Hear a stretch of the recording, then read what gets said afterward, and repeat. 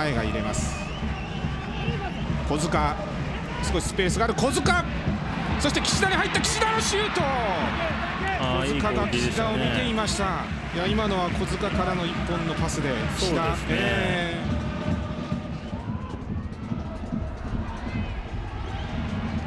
ー。さあ前。前がシュートに行ったか跳ね返ったところ。いや前。いいシュートでしたね、えー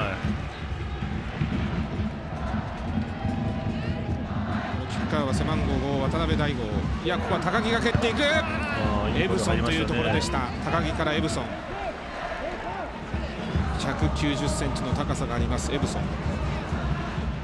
サポートも欲しいところだが米沢。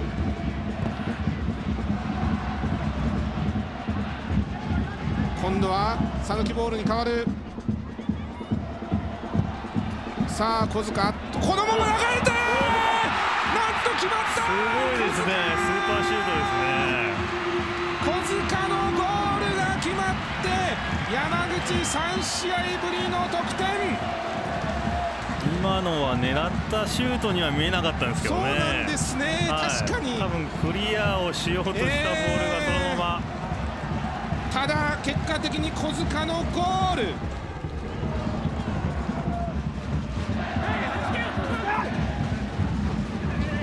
さあ遠いサイド原の前ですが北九州から今シーズン加入しました原。う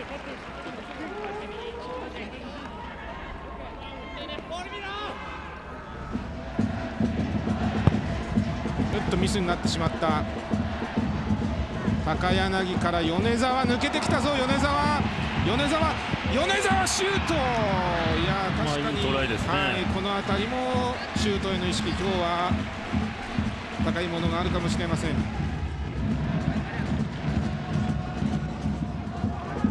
さあ原からのクロスいきなりゴール前というところですが。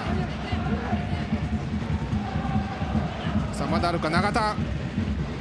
永田。永田のシュート。後半立ち上がり。永田のシュートシーンでした。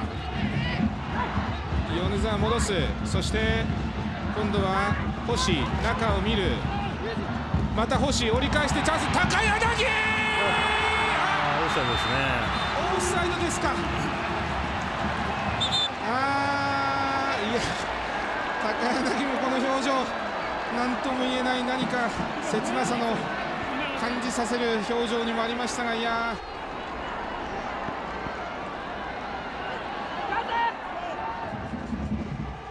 ー。木島そして高木上がってくる高木高木高木右足で入れる仲間。素晴らしいシュートでしたが山田もよく反応した。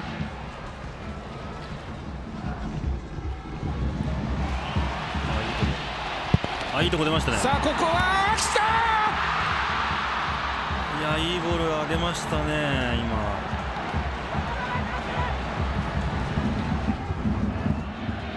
系で狙ってきますかねちょっと狙ってきそうですね。ここなるほどね、は